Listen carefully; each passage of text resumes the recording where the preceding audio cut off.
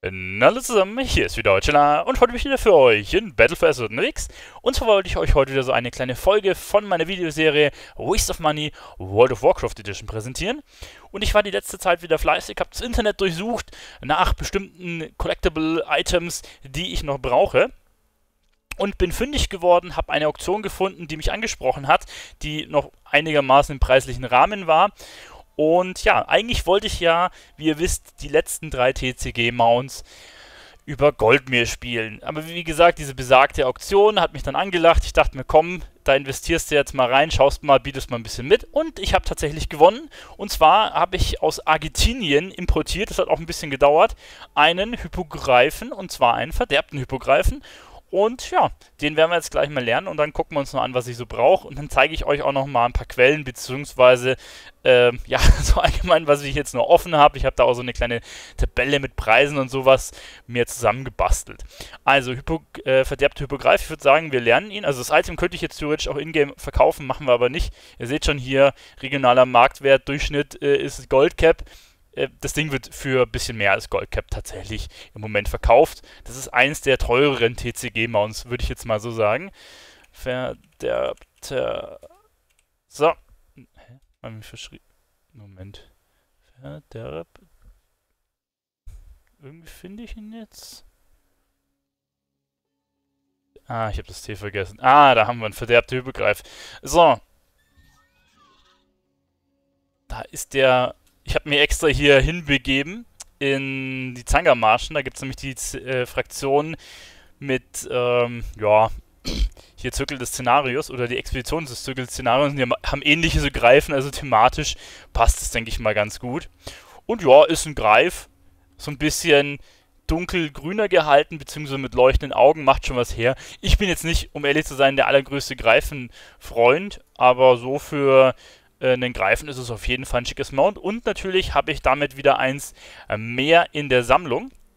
Und ja, ich würde sagen, wir gucken jetzt mal rein, was mir noch so alles fehlt. Beziehungsweise schauen wir erstmal, jetzt bin ich bei 611 Mounts. Vielleicht, wenn das Video rauskommt, bin ich schon bei 612. Ich bin ein bisschen am Vorproduzieren im Moment. Denn ich hoffe doch, ich hoffe doch, dass ich bis dahin endlich mal in einem von den Jaina Runs hier äh, noch den, äh, ja, das Mount von Chainer bekommen, also hier diesen Wasserelementar oder Eiselementar besser gesagt. Aber mal gucken. Schauen wir mal, ob ich dann schon bei 400, äh, bei 612 bin. 400 wäre schlimm für mich zumindest. so, jetzt schauen wir mal rein. Und zwar, das ist die Tabelle, die zeige ich euch gleich noch. Als erstes schauen wir jetzt mal bei der Simple Armory rein. Und zwar da unten äh, habe ich meinen Char schon geladen. Da sind die ganzen Mounts, die äh, quasi im TCG-Bereich sind. Und ihr seht, äh, da sind im Moment noch drei offen einer von diesen dreien ist halt hier Corrupted Typograph, also der, den ich mir eben geholt habe. Und jetzt sind es noch zwei, einmal Magic Rooster Egg und dann hier der blaue Spektraltiger, den epischen habe ich schon und die beiden möchte ich mir über Gold erspielen und das wird halt noch richtig teuer. Also zusammen kannst du rechnen 40 Millionen. Also so im Schnitt ist, ist der bei vier, also so 24 habe ich das letzte Mal gesehen, der hier bei 16. Preise ändern sich wieder, kann sein, dass sie günstiger werden, sein kann es teurer werden, aber das ist auf jeden Fall ein Haufen Holz. Und wer mich so ein bisschen verfolgt, weiß ja, dass ich im Moment ein bisschen am Gold verdienen bin. Die anderen Mounts, was hier noch fehlen, ist hier irgendwie das Mount von der Collectors Edition. Das habe ich. Irgendwie spackt die Seite mit so Shop-Mounts ein bisschen rum. Bis vor kurzem war der, äh, der Drache auch nicht drin, obwohl ich mir den schon vor Monaten im Shop gekauft habe. Mal gucken. Ähm, hier, der wird wahrscheinlich jetzt demnächst auch äh, aktualisiert. Hoffe ich mal zumindest. Hier auf Simple Armory, falls ihr das nicht kennt, das ist eine Seite, wo man äh, Mounts, Pets, Toys, ich kann, ich kann das jetzt hier mal auch mal zeigen. Ich kann auch ähm, Achieve oder hier Achievements, alles angucken, was, wie viel ich von was habe und so. Also das ist recht in, interessant. Ähm, vielleicht für den einen oder anderen. Eine ganz nette Seite heißt simplearmory.com und dann kannst du halt schön äh, sehen, was, was einem halt noch fehlt, auch mit so Pets und so. Und dann sieht man genau, wo die sind. Und wenn man draufklickt, kriegt man einen WoW-Head-Link quasi und wird direkt zu dem Item gelinkt. Genau, aber der ist jetzt nur hier am Rand. Jetzt gehen wir nochmal einmal zurück auf Mounts. Heißt, ähm, äh, hier fehlen mir jetzt quasi noch zwei TCG-Mounts. Ähm, das ist Buggy und quasi hier diesen von dem neuen Werbt ein Freund. Ähm, das äh, ja erst letztens rausgekommen ist. Da muss ich demnächst mal gucken, dass ich mal ein paar Leute werbe oder mir noch einen Account mache oder keine Ahnung. Also da müssen wir mal schauen und dann halt noch die drei Ingame-Mounts, die ihr eben gesehen habt. Genau, das soweit zu dem Stand, wo wir den Mount sind. Dann ähm, können wir gucken, für wie viel habe ich gesagt, ne? 460 habe ich das ähm, Mount mir bei der Auktion geholt, war aus Argentinien und da habe ich ein bisschen mitgeboten, habe es am Ende gekriegt, war dann ganz happy, denn die Preise liegen tatsächlich äh, höher. Und zwar, wenn man hier reinguckt, das ist eine Seite, WoW Loot Cards heißt die.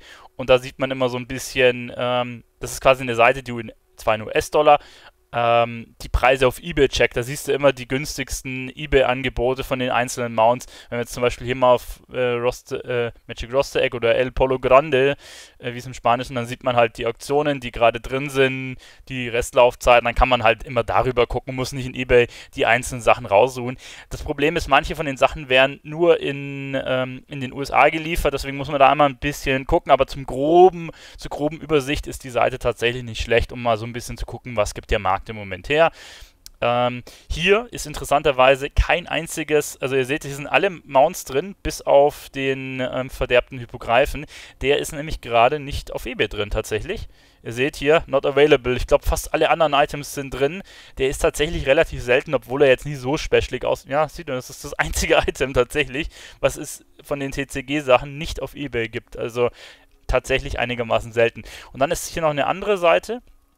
Ähm, die habe ich aber auch schon mal vorgestellt, die heißt cardmarket.com und dann hier bin ich halt auf die deutschen Ableger gegangen. Da gibt es alle möglichen Karten, ne? aber mich interessieren nur die Loot-Karten. Also da, da gibt es, glaube ich, hier ne, ewig viele so Loot-Karten, Sammelkartenspiele. Interessiert mich alles nicht. Für mich sind nur die Karten mit Codes interessant und da ist der verderbte Hypogreif, wenn man sich so kaufen will, so bei knappen 600 Euro. Also, dass ihr so eine Tendenz wisst. Auf Ebay teilweise bei 700, 800 Euro, wenn er denn drin ist. Hier, hier sind die Dinger meistens relativ günstig, aber ich gucke immer verschiedene Quellen an. Und ähm, ja, da bin ich mit 460, denke ich mal, gute 100 Euro drunter. Deswegen habe ich da zugeschlagen und habe es mir jetzt nicht für Gold geholt, weil ich da eine für mich zumindest eine e-, einigermaßen sinnige ähm, Preisgestaltung finden konnte. Genau, ähm, so viel dazu. Jetzt kann ich euch endlich meine Tabelle zeigen und ähm, ihr fragt euch endlich, ja, ich, ich führe die jetzt schon eine Weile, aber ähm, ich habe schon alle Sachen, die ich mir gekauft habe, wieder rausgestrichen und dann hättet ihr daran ablesen können, wo ich gerade bin und die nächsten Folgen äh, hervorahnen. Deswegen habe ich sie noch nicht gezeigt. Das sind einfach so, äh, ich habe eine Tabelle gemacht oder so ein Sheet, äh, sowohl über, über Items, die ich brauche, über so Durchschnittspreise. Ich habe es nur ein, zwei Mal erhoben, ja. Aber die ändern sich jetzt nicht großartig. Ich habe das ein bisschen verfolgt. Eigentlich hatte ich hier vor, ewig viele Preise und dann so Durchschnitt und solche Geschichten zu machen. Über Items, die ich gekauft habe, die ich über Gold gekauft habe, wo ich dann wieder ähm, quasi die Preise genommen habe, wie sie im Moment kosten. Also so hundertprozentig akkurat ist es nicht, sage ich gleich so vorweg. Aber dann kann, kann man so ein bisschen schauen, ähm, wo man quasi etwa aufgestellt ist. Genau. Wo, wie habe ich es eingeteilt? Ich habe jetzt, ähm, hier oben sind die Sachen, die ich mir noch holen will. Das sind jetzt Mounts, ne? also hier Spektaltiger und El Polo Grande, also dieses Magic Rooster Egg, der Hahn quasi.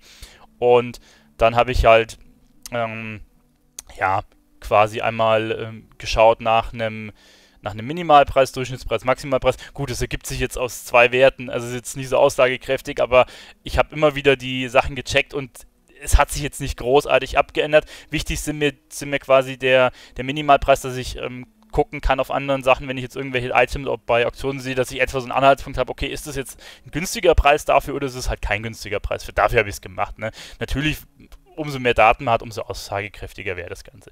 Genau, den Spektaltiger habe ich jetzt mit knappen äh, 2,5 eingesetzt. Äh, Werde ich nicht brauchen. Also das sind die Europreise, ne? Um, nichts Gold, sondern das ist Euro-Preise, alles, was ich hier angegeben habe. Ähm, werde ich nicht brauchen, weil ich habe ja den epischen schon und deswegen werde ich mir die Karte nicht holen. Ich versuche mir den blauen über Gold zu holen. El Polo Grande, also das Huhn, das ist im Schnitt so bei 900 Euro tatsächlich. Wobei ich habe, glaube ich, letztens einen für 770, 80 auf Ebay gesehen, meine ich. Da muss ich mal gucken, aber auch den will ich mir für Gold holen. Und alleine das hier wären 3300 äh, Euro. Das will ich nicht ausgeben, vor allem hier, ne, das schreckt halt zurück. Heißt, das wäre, muss ich mal gucken, ähm, ja, mittlerweile bin ich ja schon bei 17, 18 Millionen, wenn das Video rauskommt, hoffentlich schon gut über 20, hoffe ich mal. Schauen wir mal. Also geht voran, genau. das soweit äh, von Mounts, was mir noch fehlt. Dann äh, Pets, das kam ja in der letzten Folge so ein bisschen dran. Classic ähm, Collectors Edition fehlt mir noch ganz klar. Dann die Red of the Lich King. Dann die zwei BlizzCon Pets. Relativ teuer. Also den hier für 400 habe ich den mal gesehen. Den anderen für 600. Der ist jetzt seit einem Monat nicht mehr drin bei eBay. Der ist das Ding von der ersten BlizzCon 2008 oder so oder 5 oder? Also auf jeden Fall erst, ich glaube, ich glaube 2008 ist, war die, aber ich bin mir jetzt nicht mehr 100 oder 2006, keine Ahnung, auf jeden Fall eine ziemlich frühe BlizzCon, die erste. Und dann gibt es noch diesen Tyrael Battle Hill oder wie das Ding heißt, das gab es bei irgendeinem so Turnier, also nicht mal bei einer BlizzCon, sondern du musstest auf irgendein so extra Turnier gehen und nur da hat es den gegeben, da gibt es nur ganz wenige, deswegen kostet der absurde Mengen, alleine dieses eine Pad 1400 Euro, ich habe nur eine Auktion gefunden tatsächlich, ähm, Vielleicht gibt es auch ein bisschen, aber über 1000 Size auf jeden Fall. Äh, wie gesagt, also die 3K will ich auf jeden Fall nicht ausgeben, das machen wir über Gold. Die drei will ich mir holen. Das mal gucken, ob es mal wieder auf eBay ist. 600, hm, das vielleicht ganz am Ende. Das werde ich wahrscheinlich eher nicht holen. Oder vielleicht mal irgendwann, wenn ich irgendwo einen Schnapper finde. Aber, hm. Und dann sind es halt noch die, ähm, ja, dann sind es halt hier quasi noch ein Haufen Toys, die man über die Kartenspiele bekommen hat. Das sind die ganzen, da, da, gehen viele, kosten mal 30, 40, 50, 60, 70 Euro. Gibt ein paar teure, Postalstunden kostet halt über 100 und Dark Portal, das sieht aber richtig cool aus. Du stellst wirklich als Ruhestein dieses riesige Dark Portal hin. Sieht cool aus, aber kostet halt auch so, ja, 245 habe ich jetzt den Preis rausgesucht, ist teuer. Dann gibt es noch diesen Murloc-Suit, den habt ihr vielleicht schon mal gesehen, den gab es bei der BlizzCon 2007. Warte mal, wenn das 2007 war, dann muss das wahrscheinlich das Pad 2006 gewesen sein, schätze ich mal. Ja, wahrscheinlich. Ich weiß es nicht genau. Ja. Ähm, da muss ich auch mal gucken, ob ich mir den holen, ob ich mir den jemals holen. Also so optional sind tatsächlich äh, Tyrael und ja, dieses Murloc Suit, weil die sind auch beide nicht in-game in der, in der Liste drin tatsächlich. Also wenn ich jetzt bei Pets gucke, ähm, das Tyrael Pet ist hier nicht drin, ne? Und bei Spielzeugen ist das, der Murloc Suit hier tatsächlich auch nicht drin. Ich, da, deswegen muss ich mir das schwer überlegen, ob ich mir die hole. Heißt, ich habe halt ähm, ja, kannst halt hier rechnen minus 2,1, dann minus die 3,3, dann sind wir bei 5, knappen 5, 5, die ich mir also auf jeden Fall nicht über, über Euro erstmal vorhab zu holen. Dann sind wir 6, 7, ja, 2,4 oder so wird mich der ganze Rest kaufen, den ich vielleicht vorhab noch zu holen. Naja, mal gucken. Über die, über die nächste Zeit, vielleicht bis, äh, ähm, bis Shadowlands oder so, habe ich vor, das Zeug mir so nach und nach irgendwie zu holen. Vielleicht kriege ich ein paar günstige Angebote, ne? Immer dann schlage ich halt zu. Genau, jetzt schauen wir mal, was ich mir bis jetzt geholt habe, beziehungsweise, also ihr seht da sowohl, äh, ich hoffe, ihr habt das jetzt alles gesehen, weil da dieses Cam-Ding immer drüber ist, ist ein bisschen blöd. Ähm, genau, hier einmal ein bisschen runter. Da seht ihr zumindest das. Also, da seht ihr jetzt mal die Sachen, die ich mir jetzt über ähm, Euronen geholt habe, hier bereits gekauft. Und das ist das halt, was ich quasi mir geholt habe. Also der Blizzard Bear, der hat 860 äh, gekauft. Dann habe ich diesen Schreiter für 316 gekauft.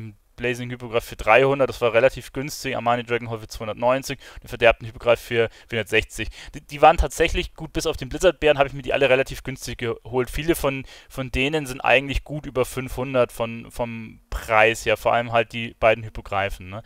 Und dann habe ich mir hier ähm, ein paar Pets schon geholt die Collectors Edition und dieses eine Toy. Und zusammen habe ich bis jetzt an, an Euros drei, drei, ein bisschen über 3000 gezahlt für das Ganze. Ja, das ist ein Haufen Geld, ne? aber es, ja, ich spaß quasi immer dafür, dass ich mir sowas holen kann. Und das andere, was tatsächlich der größere Anteil ist, was ich mir ähm, Mounts für Gold geholt habe, das ist aber jetzt halt diese ganzen Mounts, die ich mir über die letzten Jahre halt immer mal wieder, wenn ich genug Gold hatte, mir die zusammengekauft habe. Hier Feldrake, der Molten Drake, der, der Ghost Charger, das weiße Kamel und so weiter, wie sie nicht also alle heißen. Und der ähm, epische Spektraltiger, ich habe den jetzt einfach mal mit 1500 angegeben. Das sind auch Euro-Preise, halt so viele, wie sie jetzt im Schnitt gerade auf Ebay kosten. Das ist natürlich keine genaue Wissenschaft. Das wären alleine 4, 4,870 quasi. Also das sind jetzt grobe Werte, wie gesagt, weil die halt fiktiv sind. Und dann halt die ganzen Pads, ne? Die TCG-Pads, die sind halt alle nicht sonderlich teuer. Also jetzt in Anführungszeichen nicht sonderlich teuer. Das wären halt dann äh, zusammen hier ähm, 435 Und dann habe ich mir die ganzen Pads, die ich mir jetzt auch teilweise im Black Market damals gekauft hatte, oder jetzt das eine müsste hier schon dabei sein. Ah ne, das ist ja hier dabei, richtig. Ähm, das sind auch nochmal 352. Also habe ich hier quasi overall über Gold den Wert sind 5647 Euro im quasi so Mittelwerte und das, was ich wirklich ausgegeben habe, sind halt die 3000 zusammen. Das, was ich mir bis jetzt geholt habe, sind 8700 äh, Tacken quasi, also was es wert wäre und ja, nochmal so vieles theoretisch offen, aber ich habe ja schon gesagt, welche Sachen ich eher ausschließe. Das ist der Tyrail-Ding, das hier, und die werde ich mir halt über Gold holen. Ne?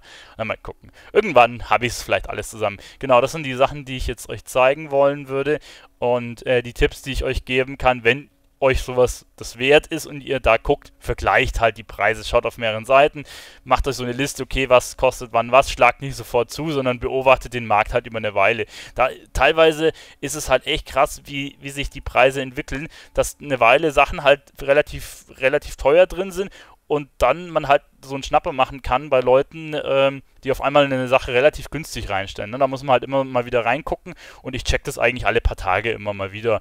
Kostet immer so 15 Minuten, die ganzen Seiten durchzuchecken und dann kann man sich teilweise auch ein bisschen was sparen. Genau, das war es jetzt soweit. Ähm, ich hoffe, für den einen oder anderen war es ein bisschen informativ. Und ja, wenn ihr wollt, sehen wir uns gerne beim nächsten Video wieder. Euer Tela, bis dann, ciao.